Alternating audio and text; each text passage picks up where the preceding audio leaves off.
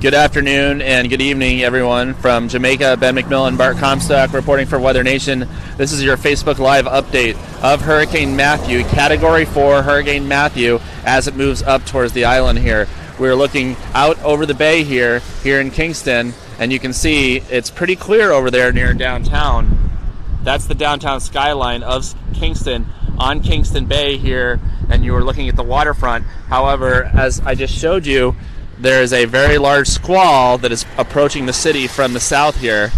Category 4 Hurricane Matthew is currently to our south southeast about 270 miles out over the Caribbean Sea and we have these bands that rotate around the storm and one of them is moving in over the sea right now. We're going to take you in and show you some of the wave action as these larger squalls push up the sea and create these large waves of probably 8 to 10 feet we're estimating in size. Now, this large area of rocks here you see in front of us is the seawall. This was built by the city of Kingston to protect the bay and this highway, which is the only way to and from the international airport from hurricane situations and tropical storm situations just like this. So myself and photographer Bart Comstock are going to go up here on the rocks here. And that's it. That is the Caribbean Sea there. You can see some of those larger squalls coming in across the water and the wind is beginning to pick up as well. And Bart, do you want to give a quick analysis of what you're seeing as well?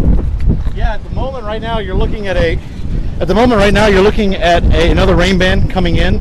Um, the winds are picking up considerably, and I imagine we may get some tropical storm force gusts out of this as it moves over us. Um, trying to get some shots of it right now before we get the wind-driven rain blowing off the ocean at me. So uh, there's a really big wave about to crash right here. Yeah. I think we're about to feel the water or the rain any second now. So you're looking at some very angry seas here as these waves begin to crash.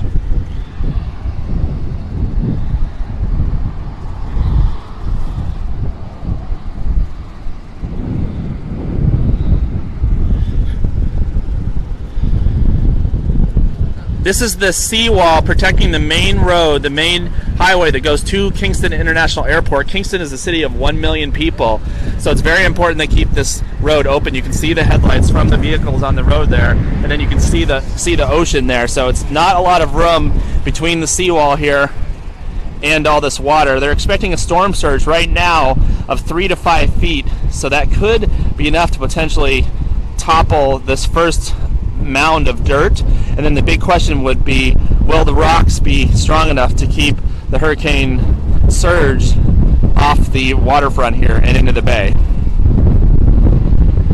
If you're just joining us, you're watching Weather Nation's live Facebook coverage of Category 4 Hurricane Matthew. It is currently about 270 miles to the south southeast of Kingston, Jamaica, and you're watching the squalls coming in off the ocean right now as we speak.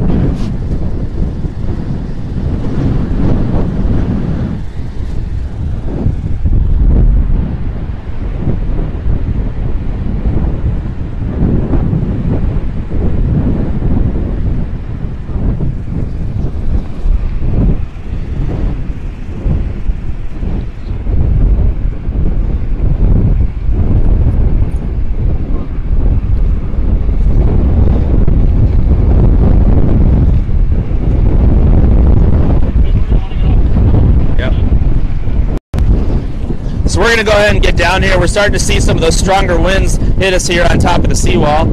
So bear with us as we go back down to the uh, sea or the bay area where it's a little bit drier.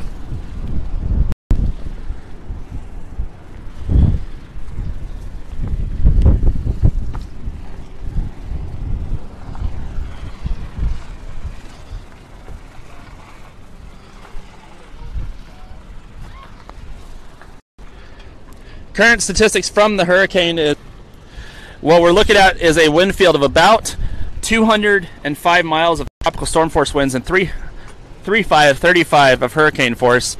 There are some emergency vehicles driving along the uh, peninsula here. You can see them approaching as the squall forms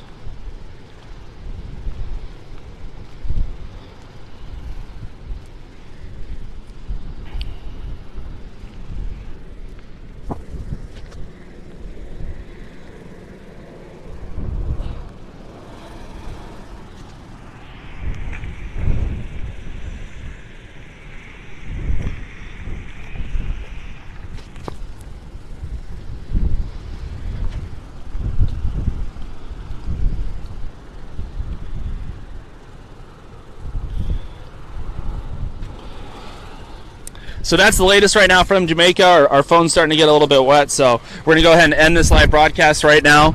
But uh, thank you for watching. One last look at the squalls here coming in off of the Caribbean Sea onto the south shores of Jamaica. You can just see how powerful they are. And that visibility being restricted is from the strong winds that are starting to blow right through this area right now on the leading edge of these squalls.